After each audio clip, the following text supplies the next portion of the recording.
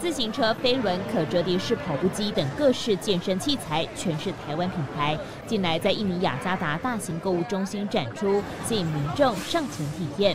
爱好骑自行车的印尼民众尼科，五年前在朋友的建议下购买台湾美利达的自行车。他说，得知展览消息，立刻前来参观。Jujur, saya diajak sama teman saya, cobain aja dulu. Nah, pas sudah dikasih coba untuk bawa. Saya coba oh ternyata benar makanya saya langsung beli 看准疫情下民众居家健身需求，印尼健身器材的零售市场潜力大。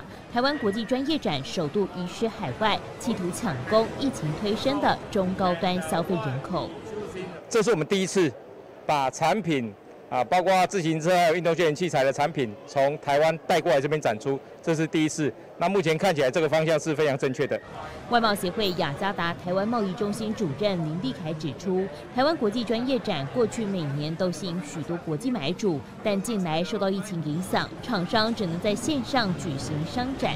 外贸协会改将台湾产品带到海外展示拓销，并安排将近四十家印尼当地买主与台湾参展厂商进行线上洽谈，渴望带动台湾健身品牌成长。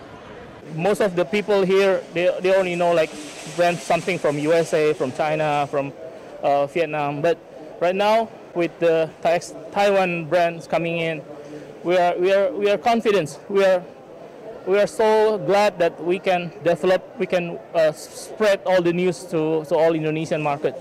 雅加达台湾贸易中心指出，随着疫情渐趋稳定，在自行车与健身器材展后，也将举行台北国际包装工业展以及台北国际食品加工机械展等，展出台湾自动化食品机械、包装机械等最新科技与技术，拓展商机。